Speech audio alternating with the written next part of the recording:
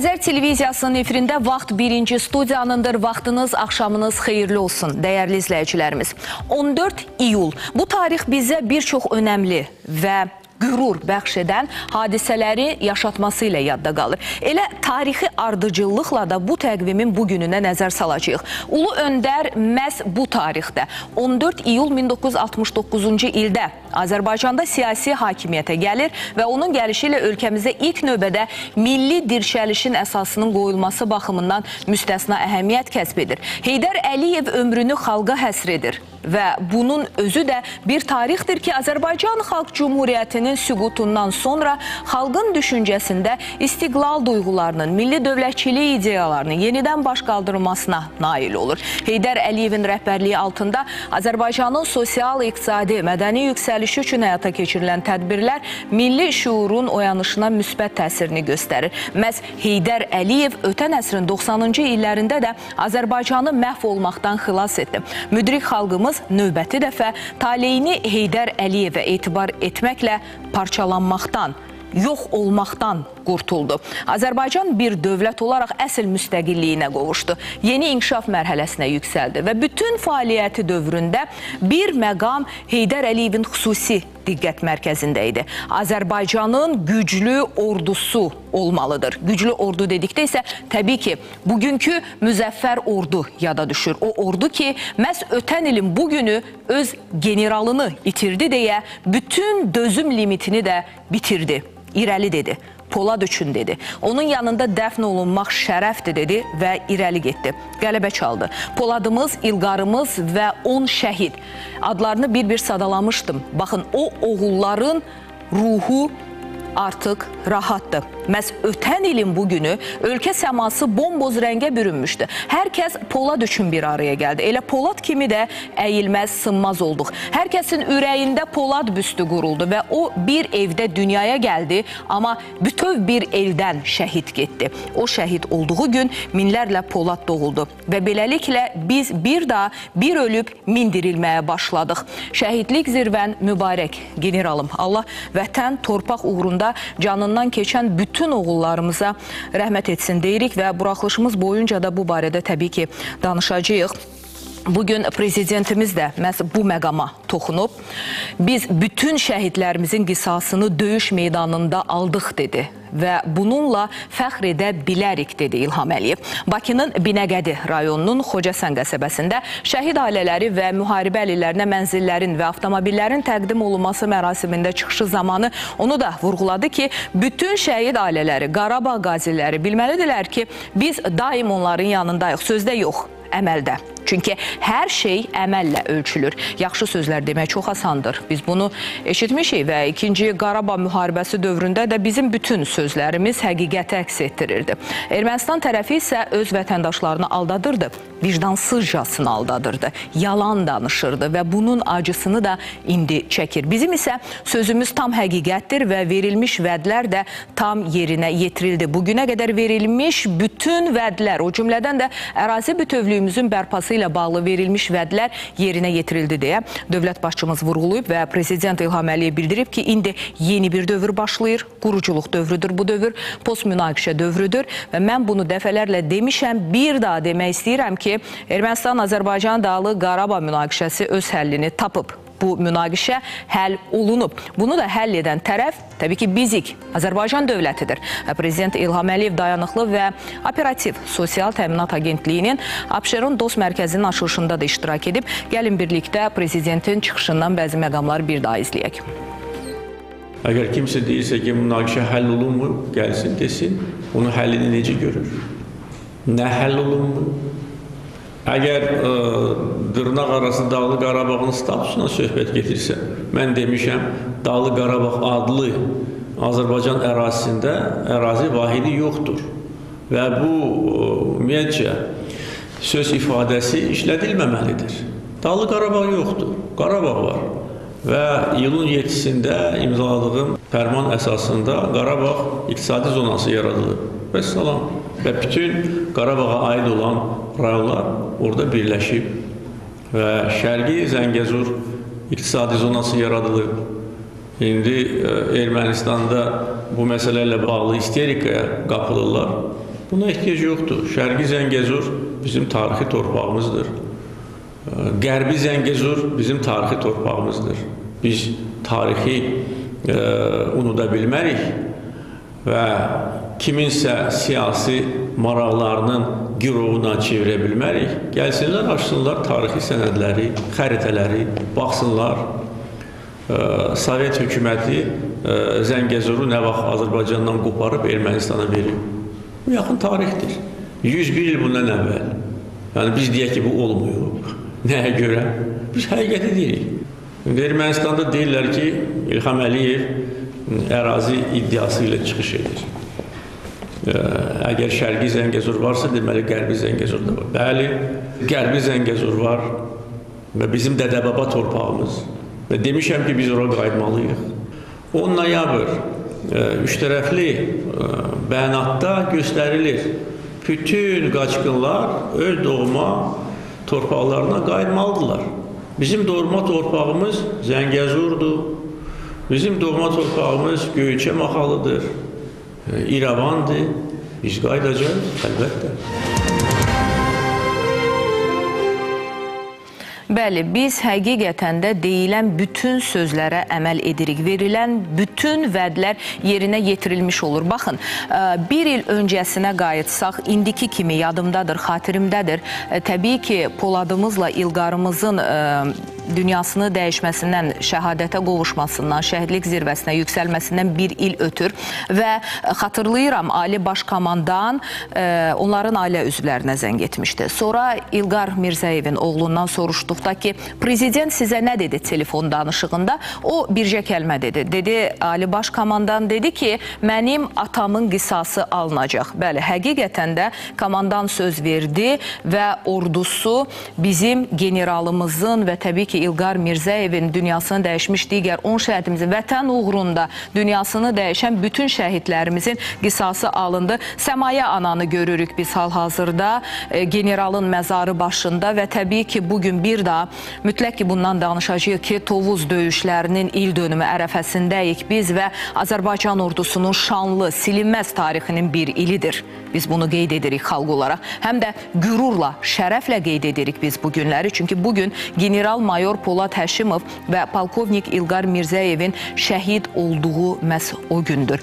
Polad Həşimov həmin vaxt Tovuz döyüşlərini idarə edirdi. İyulun 14-də səhər saatlarında Tovuz rayonu istiqamətində tabeliyində olan əskərlərlə bir yerdə döyüş zamanı ön xəttdə qəhrəmancasına şəhid olur və həmin an onunla çiyin-çiyinə döyüşən 3-cü Ordu Korpusunun artilleriya qərərgahının rəisi polkovnik İlqar Mirzəyev, mayor Anar Novruzov, mayor Namiq Əhmədov, gizir İlqar Zeynallı, gizir Yaşar Babayev və əskər Elçi Mustafazadə də şəhid olublar. Generalımız iyulun 15-də 2-ci Fəxri Xiyabanda polkovnik İlqar Mirzəyevlə yanaşı dəfn olunub. Prezident İlham Əliyev müvafiq sərəncamları ilə Polad Həşimov Həşimova və İlqar Mirzəyevə milli qəhrəman adını verib. Polad Həşimovun şəhid olması 2-ci Qarabağ müharibəsinin başlamasına aparan prosesdə mühüm rol oynayıb və Təbii ki, bu oğullar ölümü ilə bizim içimizdə yatan bəzi hissləri də oyatmış oldular və bütün oğullar bir qədər öncə qeyd etdiyim kimi də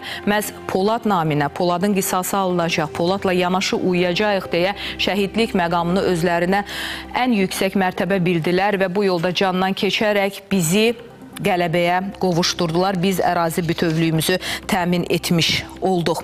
Amma şəhidlərimiz yenə deyirik, ə, şəhid verdik. Bu bizə o qədər də asan başa gəlmədi.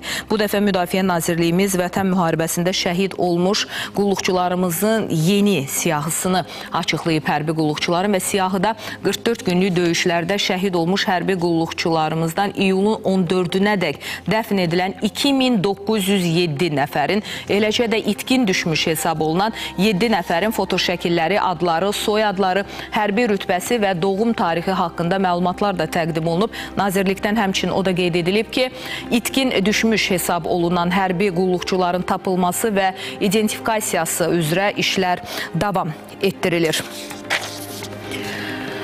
Ümid edirik ki, digər itkinlərimiz də tapılar və anaların ürəyinə su sərpilmiş olar beləcə. Amma ə, yenə də buynuzu qaşınanlar var, çomağa sürtürlər və yenə də hansısa bir münaqişə yaratmaq istəyirlər. Revanşist hisslərlə yaşayırlar. Ermənilərdən gedir təbii ki, söhbət.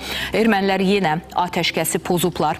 Müdafiə Nazirliyi bu barədə məlumat yayıb və bildirilib ki, Rusiya sülh məramlarını müvəqqəti yerləşdirdi. Azərbaycan ərazisində qanunsuz erməni silahlı dəstələri tərəfindən iyulun 13-də saat 21:34-də və saat 21:45-də Şuşa şəhəri ətrafındakı Azərbaycan ordusunun mövqeləri pulemyot və avtomatlardan atəşə tutulub. Bölmələrimizin şəxsi heyət arasında həlak olan və yaralanan yoxdur.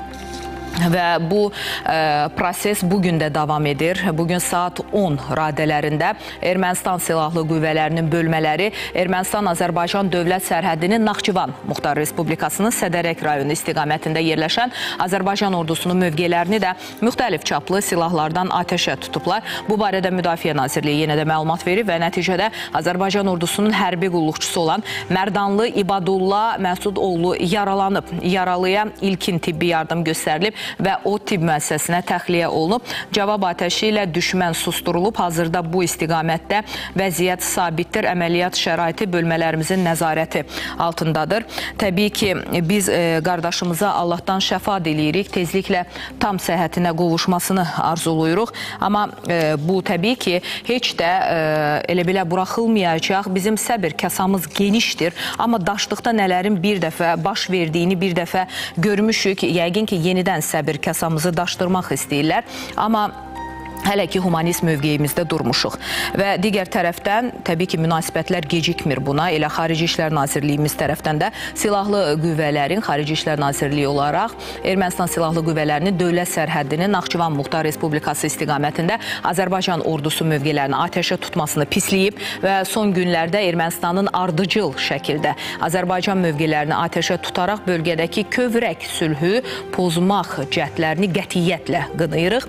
Azərbaycanın bölgədə bölgədə sülh, əməkdaşlıq və dayanıqlı inkişafı təmin etmək istiqamətində addımlar atdığı bir vaxtda Ermənistanın bu kimi destruktiv yanaşma nümayiş etdirmələri qəbul edilməzdir. Bölgədə vəziyyətin bu şəkildə inkişafının bütün məsuliyyəti Ermənistanın üzərindədir deyə Xarici İşlər Nazirliyimizin açıqlamasında bildirilir. Ermənistanda nə baş verir? Ermənistanda deməli Milli Təhlükəsizlik Xidmətinin əməkdaşları Zəngəzur Mis Molibden kombinatının ərazisinə daxil olublar. Məlumatı Sputnik Armeniya yayıb və bildirilib ki, kombinatın təhlükəsizlik xidmətinin əməkdaşları saxlanılıb. Bir müddət əvvəl isə hakimiyyətin müəssisəsinə mis və molibden ixrac edilməsinə icazə vermədiyinə dair də məlumat yayılmışdı. Onu da qeyd edək ki, Zəngəzur mis molibden kombinatı Ermənistandan mənbəyini götürməklə Azərbaycan ərazisində Araz çayına tökülən Oxçu çayı radioaktiv tullantılarla çirkləndirir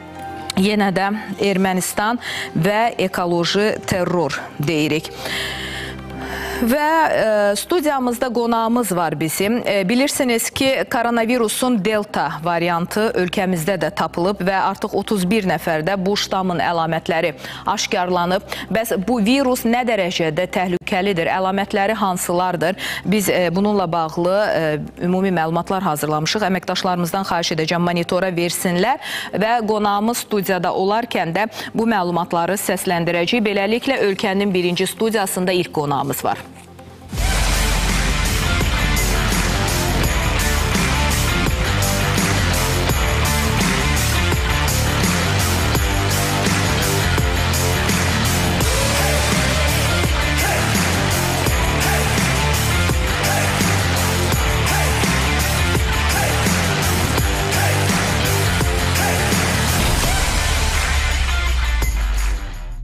Və böyük məmnuniyyətlə studiyamızın qonağını təqdim etmək istəyirəm. Akif Qurbanov bizimlə birlikdə olacaq. Təbibin idarə heyəti yanında Tibbi Elmi Komitənin sədri olaraq. Sizi xoş gördük Akif müəllim.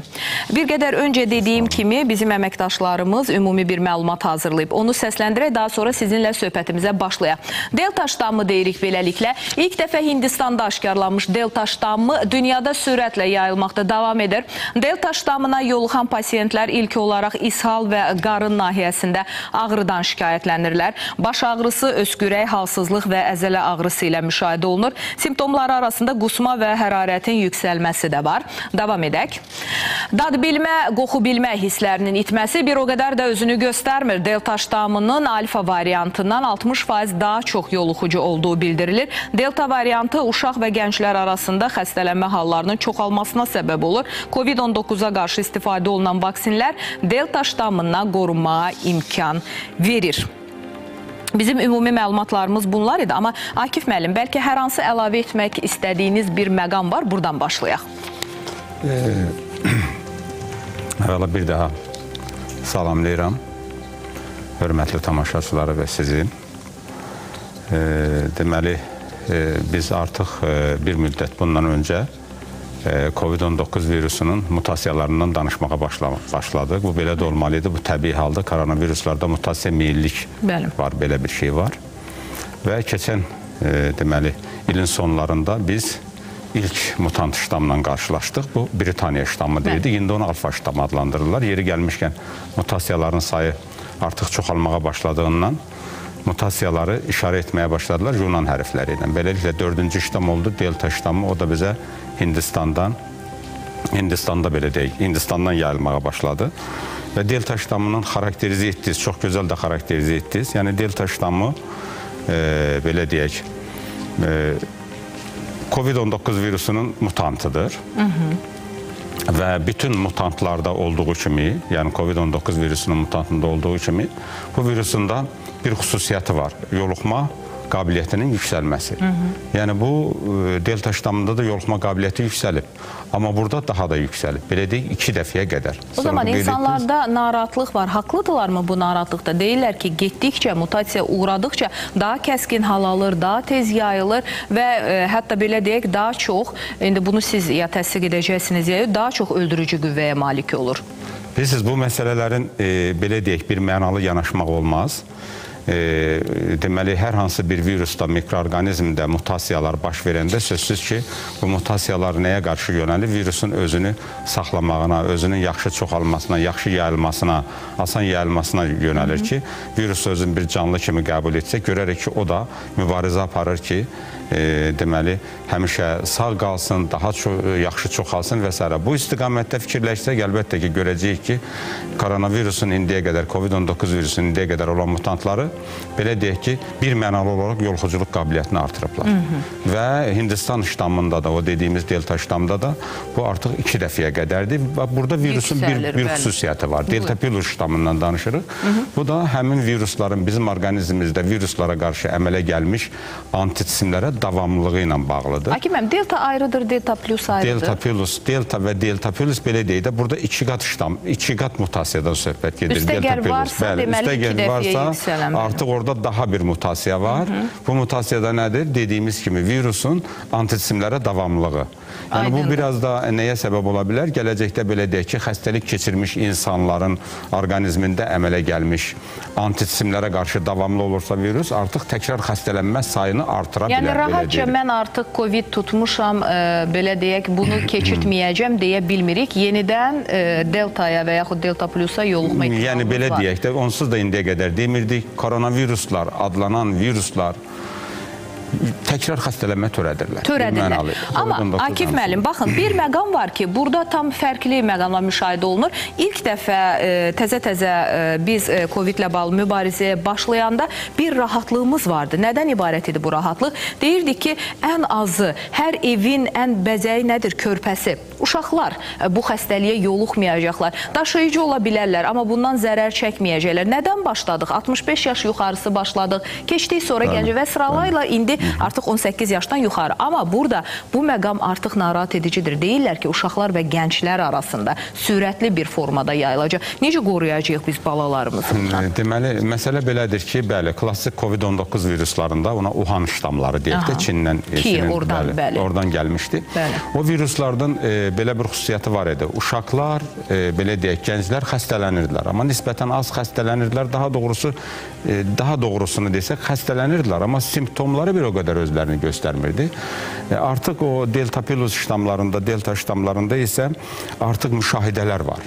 Yəni bu yenə də mən bir bir şeyin üzərində durmalıyıq. Bir var müşahidə, bir də var elmi sübut, təsdiq. Hı -hı. Biz indi müşahidələrdən danışacağıq. Yəni müşahidələr onu göstərir ki, bəli, delta ştamları ə, uşaqlar və gənclər arasında e, e, deməli xəstəlik saylarını artırır və simptomlu xəstəlik saylarını artırır. Yəni uşaqlar və gənclər e, belə deyək ki, e, artıq simptomlu, əlamətli xəstəliklər onlarda artıq müşahidə olunmaqdadır əvvəlki ştamlarla müqayisə nisbətən. Yoluxma belə deyək, necə yoluxmadan qorunmaq olar? Bəli. Yoluxma yollarımız klassik qaydalar var idi. Yenə də maska, müəllim, məsafə, cavab istəyirəm. Yetərlidirmi? Bir dəqiqə mən sözümü Buyurun. qurtarım. Deməli, bizim həmişə dediyimiz əvvəlki qaydalar öz Bəli. qüvvəsində qalır. Bu belə. İkincisi vaksinasiya.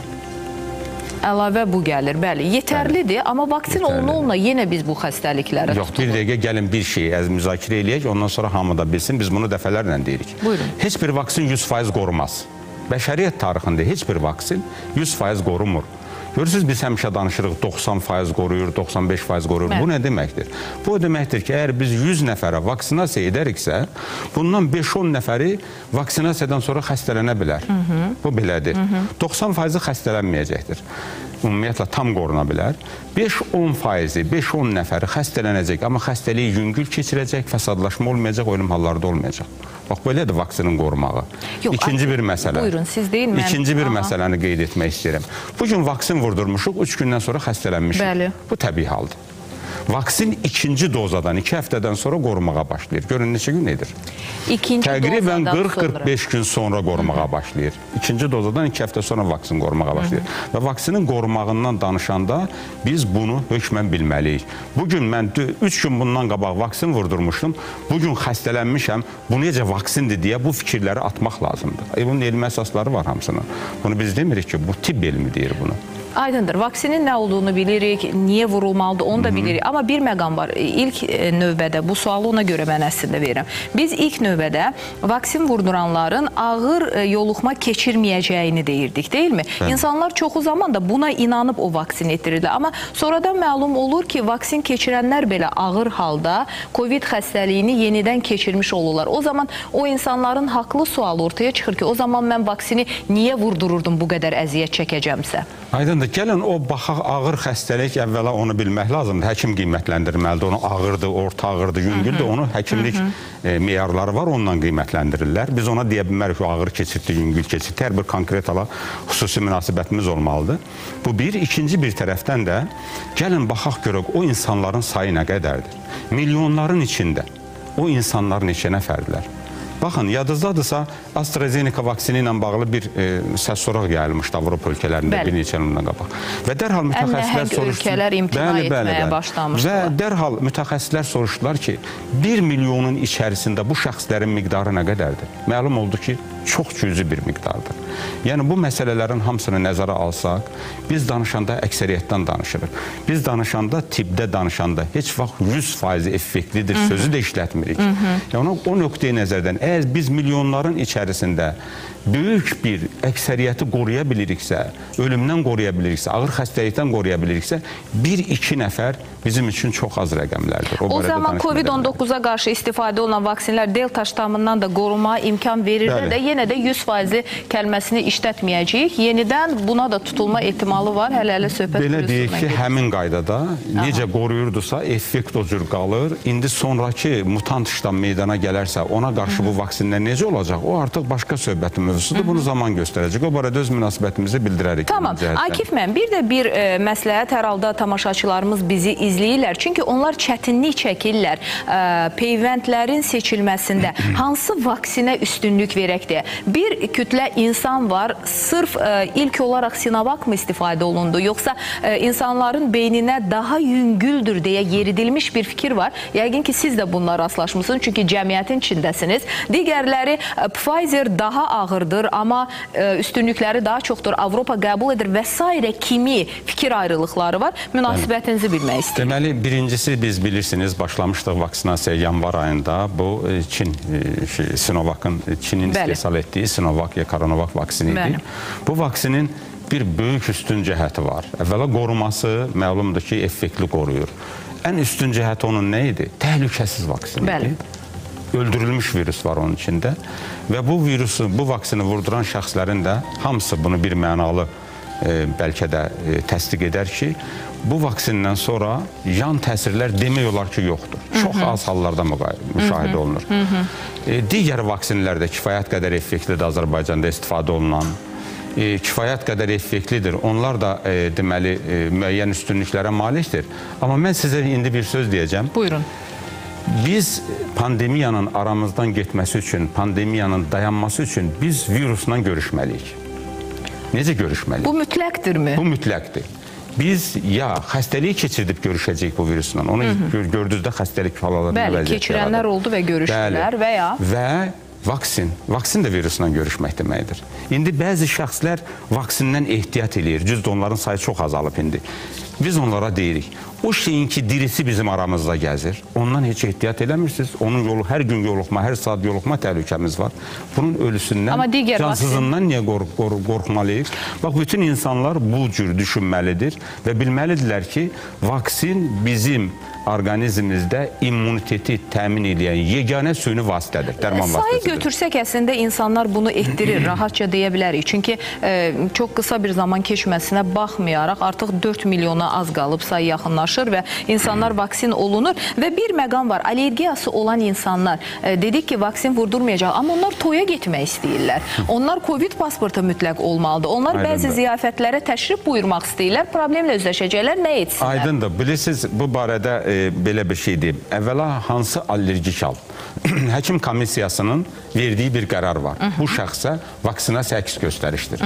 Əgər elə bir qərar onun əlində varsa, O zaman rahatca o zaman bu onu müəyyən bir Tamam, sənədləri aydın. əvəz eləyə bilər, müəyyən bir şeyləri də nəzərə alaraq bu, hər yerə elə bilin ki, sanki. Covid pasportudur. Yəni mən onu deyə bilmərəm, amma belə bir şey onu vaksinasiya olunması, olunmamağının səbəbini göstərən bir vasitəyə çevrilir onun üçün. Tamam. Yəni özün özündən asılı olmayan səbəblər üzündən vaksinasiya olunmur. Amma bu səbəb axtarılmalıdır hökmən mütəxəssis həkim tərəfindən və ona müəyyən bir yazılı formada bir kağız verilməlidir. Amma siz təbib rəsmisisiniz. Bu barədə rəsmi açıqlama olsa daha yaxşı olar. İnsanlar bilsin ki, allergiyan Bilirsiniz, varsa... biz elmi komitənin Aydındır, elmi tərəfdən buyurun bəli, bütün məsələləri. Bəzi orada e, deməli ola bilər ki, sizin suallarınız ola bilər Aha. ki, təşkilatı cəhətdən onu müvafiq rəsmlərə müraciət edə Aydındır, o bilərsiniz. zaman- Mən sizə ancaq elmindən danışa bilərəm. Bizim zaman yekunlaşdı. Son Buyurun. olaraq e, qısaca cavab istəyirəm. Uşaqlarımızı qorumaq üçün. Çünki insanlar bu dəqiqə özlərini unudublar, uşaqlarını düşünürlər. Vaksin etdirəkmi körpələrimizi Yəni yoxsa? o vaksinin e, bilirsiniz bu vaksinlər körpələr üçün deyil, əvvəl Aha, onu biləsiniz. bəli. Körpələr üçün yəqin ki, körpələrə uyğunlaşdırılmış vaksinlər təklif olunacaqdır. Əvvəla bu barədə xüsusi araşdırmalar, xüsusi təkliflər olacaqdır. Biz onda sizə məlumat verə bilərik. Amma hələ ki körpələrin vaksinasiyası hələ nəzərdə tutulmayıb. Nəzərdə yəni tutulmur. aktual da deyil hələ ki belə götürsək. Tamam, aydındır. Akif müəllim, təşəkkür edirəm sizə studiyamıza gəldiyinizə görə, suallarımızı cavablandırdığınıza görə. Minnətdaram. Ölkənin birinci studiyasında növbəti qonaqlarımız var. Bugün ümumiyyətlə studiyamız qonaqlı qaralıdır. Maraqlı söhbətlər sizi gözləyirdir ki, diqqətiniz bizdə olsun. Təşəkkür edirəm. Böyük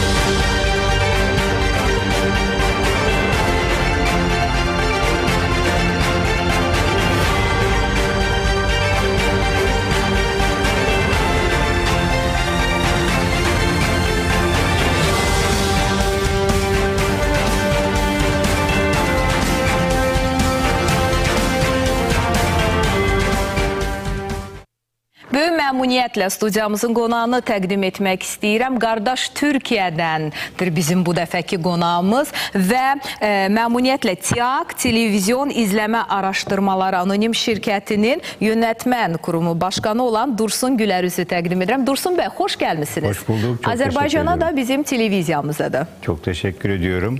Öncelikle Türkiye'den Azerbaycan halkına, Hazar TV seyircilerine Türkiye'den İstanbul'dan selamlar getirdim. Aleyküm. Onları iletmiş olayım ve beni e, konuk ettiğiniz için de, misafir ettiğiniz için de çok teşekkür ediyorum. Hər zaman xoşdur Dursun bəy, hər zaman yolunuzu gözləyirik və ilk olaraq istəyirəm sualı belə ünvanlayım ki, TİAK şirkəti olaraq nə kimi işlər həyata keçiririk və izləmələri hansı yöntəmlərlə aparırıq? İzin verirseniz çok kısa bir şey söyleyip ondan sonra gireyim. Təbii ki, buyurun. Ee, Karabağ Zaferi'nde Türkiye halkı biliyorsunuz ki her zaman Azerbaycan halkının Tabii yanındaydı. Gönlümüz sizinle beraberdi. Neticede zaferle neticelenmesini sizin kadar biz de sevindik. Bunun için üstünde kalmasın tekrar sevinçlerimizi, te- tebriklerimizi iletmiş olalım. Təbii ki, Dursun bəy və biz e, Türkiyənin dəstəyini bütün sahələrdə gördük, bütün sahələrdə və bu dəfə də məhz media sahəsində bu əməkdaşlığa başlaması həm qürur duyur, həm də bizi e, daha çox uğurlara aparacağına cığır açan bir yol kimi qiymətləndirilir və media sahəsində nə kimi əməkdaşlıq edəcəyik bu sualı da sizə ünvanlayacağım bir qədər sonra. Amma öncə TİAQ barədə bizə məlumat Tabii, verin. tabii. Bu, buradan bağlayalım. Medyanın önemi, medyanın gücü Buyurun. ortada. Medyanın, televizyonların bu gücünden bahsetmişken bizim yaptığımız işle çok yakından bağlantı kuruyoruz. Televizyon izleme araştırmaları, Evet. rating diye bir şey var. Bunu halkımız genellikle rating olarak biliyor. Biz bunun ölçümlerini yapıyoruz. Rating nedir? Her sabah televizyon yöneticilerinin masasına sizlere, Evet. reklam verenlere bir rapor gidiyor. Dün bütün gün boyunca hangi televizyon seyredildi, kimler seyretti, Ne ne kadar kadar, reyting, süreyle evet. seyretti. Ee, bu bir yarış. Bunun tabii çok güzel bir ölçüm sisteminin olması lazım. İşte biz TİAK olarak dünyadaki birçok ülkede, 150 ülkede var olan bir sistem. Her ülkede tek yapı, tek sistem bunu ölçüyor. Biz de Türkiye'deki bunu ölçen sistemiz. Hansı Bu işi yapıyoruz. ölçürük? Hansı formada biz reyting cədvəlini müəyyən edirik? Şöyle, e, tabii bu biraz hani teknik bir iş ama bu çok basit şöyle anlatabilirim. Biz Azerbaycan nüfusunu alıyoruz. Bu nüfusun bütün özelliklerini çıkartıyoruz araştırmalarla. Yaş oranları, kadın erkek oranları, meslek oranları, eğitim oranları. Bunların hepsini temsil eden bir modül kuruyoruz. Bu hane diyoruz biz bunlara panel haneleri. Panel hanelerine birer tane rating cihazı takıyoruz, bağlıyoruz evlerine. Oradan gelen e, verileri belli bir sistemde, kompütürlerde topluyoruz. Bunların analizlerini yapıyoruz. Böylece aslında sınırlı sayıda kurduğumuz bu panelle bütün Azerbaycan'ın ne seyrettiğini ölçebiliyor oluyoruz. Türkiye için böyle bir model çalıştırıyoruz. Aydındır, evlərə yerləşdiriləcək bu cihaz və bununla da reyting cədvəlini müəyyən etmiş olacaq. Amma Dursun bəy, bizdə e, belə bir e, məqam baş verir. Bəzən biz e, proqramın çox seyr edildiyini, tamaşaçı tərəfindən çox sevildiyini və düşünürük ki, əgər birini götürək bizim proqramı. Adı birinci studiyadır. Tamam. İnsanlar çox sevir, çox izləyir və biz e, hər kəlməmizin daha sonra insanlar tərəfindən e, deyilməsində ki, bu sözdən sonra bu deyildi, bunu göstərdilər, münasibət bildirirlər. Biz bilirik ki, hər evdə birinci studiyaya baxılır. E, Şükürlər olsun, reyting cədvəlimiz də çox öndədir. Amma bəzən olur ki, verilişlər var. Onlar da iddialıdırlar ki, bizim reytingimiz əslində çox güclüdür, amma bu cədvəldə bu sıralamanı görə bilmirlər. Belə bir e, anlaşılmazlıq yaşanır. Evet. Tabii bunun için sağlıklı, güzel, tartışmasız, açık, şeffaf bir sistem kurmak lazım. Burada gerçekten işin doğrusunu gösteren bir sistem olması lazım. Biz Türkiye'de bunu başardık. 30 senedir televizyon ölçümü yapıyoruz. TİAK'ın göreve başlaması 10-12 sene önce. 12 seneden beridir bu sistemi çalıştırıyoruz. Böylece hiçbir televizyonun itiraz etmeyeceği çünkü gerçekten tarafsız olan, gerçekten objektif olan, gerçekten çok sıkı denetlenen, şeffaf olan bir sistem çalışıyor. Biliyor ki televizyon yöneticisi, sunucusu ya da diğer ilgililer ertesi sabah çıkan rapor doğrudur. Mutlaka seyircinin değişen bir takım şeyleri olmuştur eğer bir farklılık olmuşsa ona göre bu, bu- buraya gitmiştir.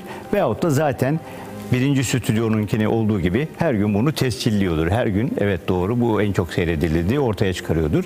Tabii bunun için bizim böyle dünyamızda bir reklam veren tarafı Evet. var. Kanallar tarafı var. Bir de reklam ajansları tarafı var.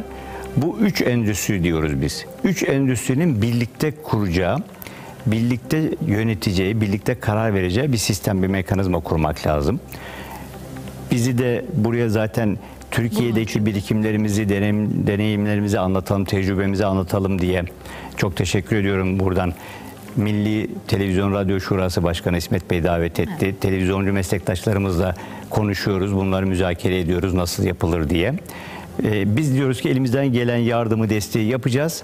İnşallah Azerbaycan'da da bu şekilde bir sistemi kurmuş olalım. İnşallah Dursun Bey bizim e, ülke olarak ehali sayımızı bilirsiniz ve tabii ki bizim bölgelerimiz de var. Bugüne kimi biz paytaxt Bakıda olan reyting cədvəlləri ilə tanış ola bilirik. Hər halda bizim Gəncəmiz var, bizim Tabii. e, Sumqayıtımız var, bizim Şəkimiz var ki, Tabii. oralı e, cənub zonamız və yaxud şimal zonamız. E, burada da bu reyting cədvəlində də bu e, bölgələrimizdəki e, yayımlanan televiziyalarında reytingini görə biləcəyik. Tabii tabii. Nerede insan yaşıyorsa, nerede televizyon seyrediliyorsa or- orası da mutlaka nüfustaki payı kadar oranda temsil ediliyor. Dolayısıyla oradan gelen veriler de değerlendirmeye alınıyor. Yani en ücra köşede seyredilenden tutun da işte Bakü'nün merkezinde seyredilene kadar hepsini ve hangi televizyonlar bu sisteme girmişse tabii bu televizyonlar zorlanmıyor bunda. Kendileri girmek istiyorlar. Hangi televizyonlar girmişse o televizyonların bütün neticelerini en ücra köşedeki seyirciye kadar yansıtmış oluyoruz. Dursun bəy, biz özümüz də bu sahədə olduğumuz üçün çox maraqlıdır bizə. Baxın, 10 milyon üstü bir xalqıq Doğru. və əksəriyyəti Bakıda yaşayır, paytaxt Bakıda. Ə, Neçə ev nəzərdə tutulur? Bu qədər ə, paytaxt sakininin reyting cədvəlini müəyyən etmək üçün nə qədər evə təxminən bu cihazlar yerləşdirilir? Türkiye'den örnek vereyim. 80 milyonun üstünde insan yaşıyor biliyorsunuz. 83 Evet. milyon. Ve e, bizde de çok il var, çok bölgeler var. Evet. Dağılmış durumda bütün nüfus. Biz 4400 evde bu sistemi kuruyoruz. 83 milyonu temsil ediyoruz. Hiç tartışma yok. İstatistik bilimi bize bunu veriyor, anlatıyor. Dolayısıyla burada da 10 milyonu aşkın nüfus için ve yerleşim yerlerinin yoğunluğuna göre bir oransal hesap yapmak lazım. Yani bizimkine göre hesaplayacaksak 8'de 1 gibi düşüneceksek Evet. mesela işte 1000 civarında, 1200 civarında belki bir şeyle e, kur- e, sistem kurup bu şekilde Yaxşı, bu sistemlərin hansı bir dönəm üçün dəyişəcək? Bir konkret olaraq bu evlər bir il üçünmü bu reyting cədvəli ölçüləcək? Çünki ola bilər ki, insanların özlərinin konkret seçdiyi bir Tabii. kanal var, amma biz istərik ki, məsələn, 1-2 ildən bir bu dəyişsin. Belə bir şey də varmı, yoxsa? Tabii. Biz yine Türkiye'den örnek vereyim. Bizde her yıl bu e, evlerin yüzde on beşi değişiyor. Zor- Zorunlu olarak değişiyor. Evet. Bir de bunun üstüne doğal değişimler geliyor. Hanenin özelliği bozulmuştur. Birisi evlenmiştir, gitmiştir. Evet. Haneye yeni birisi gelmiştir. Temsiliyeti kaybolmuştur. Biz çıkartıyoruz onu. Yüzde 20'ler, 18'ler, 20'ler civarında böyle bir yıllık değişim var. Bir de uzun kalmama tahdit süreleri var. Yani hiçbir hane 7 yıldan fazla kalamıyor. Bizim aynen. düzenlememiz böyle. Diğeri, diğeriz ki burada 5 yıldan fazla kalamaz. Yani buna endüstri kendisi karar veriyor. Yani burada dinamik toplumun bütün değişimini, dinamizmini de yansıtmış oluyor aynı zamanda. Aydındır. Bu değişimleri yapıyoruz. Teşekkür edirəm Dursun bəy sizə də. E, Siz yalnız kamera önündə olan sizsiniz, amma e, Tabii bizim bizim dostlarımız da var, var. evet. Bəli, sizin ekibiniz buradadır. Hər birini salamlayır, bir daha xoş gəldiniz deyirik və təşəkkür edirik ki, 44 günlük o zəfər tariximizdə yanımızda olduğunuz kimi bugün də yanımızdasınız. İstənilən sahədə reyting ölçmə, yenə deyirəm, bizim proqramlar ilk sıralardadır və biz bununla reyting cədvəlinin doğru ölçüldüyünü bilirik. Amma sizin gəlişinizlə bu da mütəşəkkir olacaq. Çünki e, Türkiyə təcrübəsi var ortada. Təşəkkür edirəm. Ben çok teşekkür bir daha ediyorum xoş ekibim adına. gəldiniz. Sağ olun. Sağ İyi olun, yayınlar. var olun. Ölkənin birinci studiyasındasınız.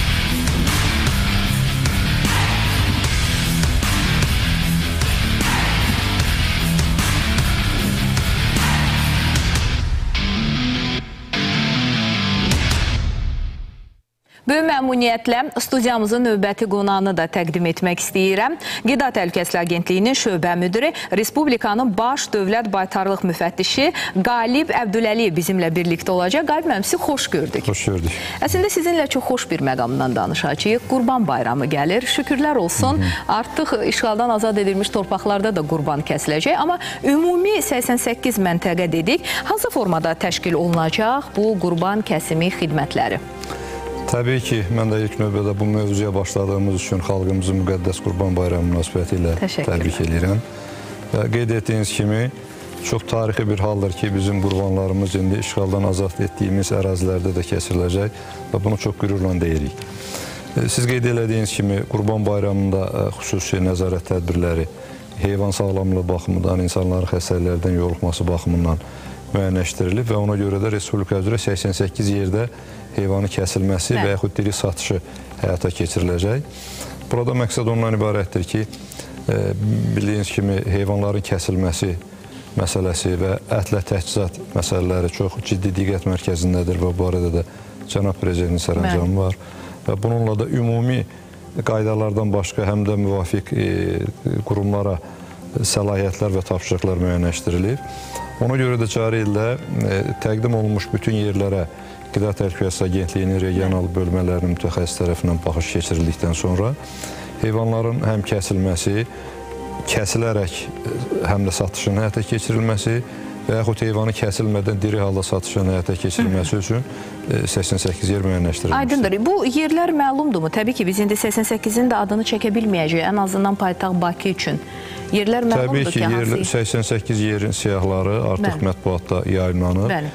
Eyni zamanda Qida Təhlükəsizliyi Agentliyinin Afsa.gov.az e, internet resurslarından da istifadə etməklə Bəli, əgər əldə etmək məlumatı qaçırmısınızsa, izləməmisinizsə, daxil olub orada məlumatları ətraflı ala bilərsiniz və onlayn satış yarmarkası. Təbii ki, bu da insanlar üçün maraqlı bir məqamdır. E, Nə zamandan başlayaraq müraciət etməlidirlər onlayn e, alış-satış üçün? Kənd Təsərrüfatı Nazirliyi tərəfindən kənddən şəhərə Bəli. təşəbbüsü çərçivəsində onlayn satışlar da təşkil olunur. Bəli. Və burada da e, demək ki, Qurban Bayramına bir neçə gün qalmış artıq portal üzərindən onlayn qaydada sifarişlərin verilməsi mümkündür və e, eyni zamanda müvafiq soyuducu infrastruktura malik marketlər şəbəkəsi vasitəsilə də sifarişlər verib qurbanlıq heyvanın həm e, heyvanı deyək ki, kəsilmiş heyvanı cəmlək bütöv halda doğradılaraq hissələrə bölünərək əldə etmək mümkündür və hətta bizdə olan məlumatlara görə marketlər şəbəkəsi evlərə çatdırılma xidmətlərində göstərə bilərlər.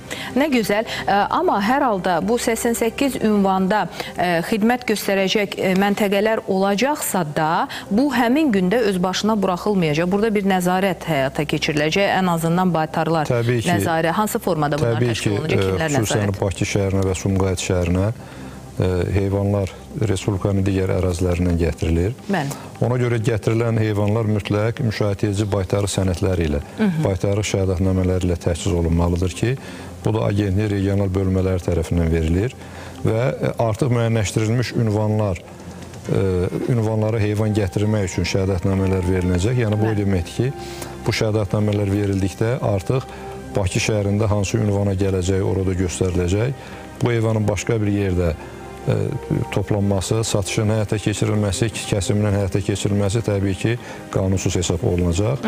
Həmin yerlərdə digər əlaqədar qurumların e, və e, Azərbaycan Qida Təhlükəsizliyi İnstitutunun tərkibində e, xidmət göstərən qida təhlükəsizliyi nəzarət məntəqələrinin mütəxəssisləri tərəfindən baytarlıq nəzarəti həyata keçiriləcək. Bura aiddir heyvanların həm kəsimdən qabaq müayinəsi, kəsim zamanı baytarı sanitariya ekspertizasının aparılması, eyni zamanda diri halda satılan heyvanlar da baytarlıq müayinəsindən keçir keçiriləcək və təbii ki, e, müəyyən ehtiyac yarandıqda və yaxud günün sonunda Bəli. mütləq e, yuma, təmizləmə, dezinfeksiya işləri həyata keçiriləcək ki, bu da e, həm Səhiyyə Nazirliyinin, həm Kənd Təsərrüfatı Nazirliyinin əlaqədar qurumları ilə birlikdə aparılacaq və e, təklif olunan iş qrafiki bundan ibarətdir ki, qurbanlıq heyvanların kəsimi və satışı qurban günləri ərzində saat 8-dən axşam saat 20-yə kimi, yəni axşam saat 8-ə kimi 3 gün ərzində yəqin ki, nəzərdə E, tutulur. Rəsmi qurban 2 gün. Nazirlər. Kabinetinin qərarı ilə müəyyənləşdirilmiş qurban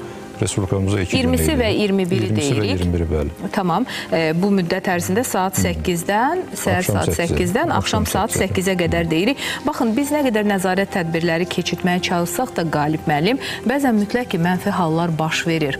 Baxın, dediniz, bundan yayınarlarsa, o zaman hansı halda e, müdaxilə edəcəyik bura? Yəni e, qeyd eləmək istəyirəm ki, e, 2018-ci ildən bəri yaxşı bir nəticə izlənməkdədir. Nə? Artıq bir e, yəni qurbanlıq heyvanların təqdim olunması, ümumiyyətlə heyvan kəsim mədəniyyəti formalaşmaqdadır. Və mənim qeyd etdiyim cənab prezidentin sərəncamı ilə daxili işlər orqanlarına, yerli icra hakimiyyəti orqanlarına vəzifələr müəyyənləşdirilib ki, təbii ki, Qida Təhlükəsizliyi Agentliyi ilə birlikdə Hə. heyvanın e, sənədsiz, mənşəyə məlum olmayan halda e, qanunsuz formada daşınması və bir yerlərə toplanması, eyni zamanda Daxili İşlər Nazirliyinin orqanları vasitəsilə də nəzarət həyata keçiriləcək və nəzərdə tutulub ki, bu e, belə hala yol verilməsin. İndidən də e, həm sahibkarlara, həm e, qurbanlıq məqsədli heyvan kəsimini aparmaq istəyən vətəndaşlara tövsiyəmiz bundan ibarətdir ki, ancaq müəyyənləşdirilmiş yerlərə üst tutaraq orada heyvanı satışını həyata keçirsinlər və yaxud qurbanlıq heyvanları əldə eləsinlər. Təbii ki, bizim üçün ən önəmli olan qaydadır, qanundur. Amma nəzərə alanda ki, Qurban Bayramı önündə müqəddəs Qurban Bayramı sözü var. Hər halda Bəli. bu kimi hallara bir insan olaraq da ən azından imza atmamalıyıq. Və zamanımız yekunlaşır deyir əməkdaşlarımız. Bir e, son sualı da verim. E, Qalibəm, necə edək ki, e, qiymət, e, süni qiymət artımına bu zaman yol verilməsin? Çünki Qurban Bayramında bəzən kəllə çarxa çatan qiymətləri müşahidə etmiş Bu olur. Məsələlər mən buna bir vətəndaş kimi cavab verə bilərəm. Buyurun. Çünki e, Qida Təhlükəsizliyi Agentliyinin səlahiyyətlərinə Bəli. aid deyil. Ancaq Kənd Təsərrüfat Nazirliyinin kənddən şəhərə yarmarkası elə bu məqsədə xidmət eləyir ki, alternativlər təklif olunsun və tələb təklifi tənzimləsin ki, Bəli. qiymət artımına yol verilməsin. E, Bundan başqa da həm də vətəndaşlarımız siz qeyd elədiyiniz kimi bilməlidirlər ki, Qurban Bayramı bir müqəddəs bir bayramdır.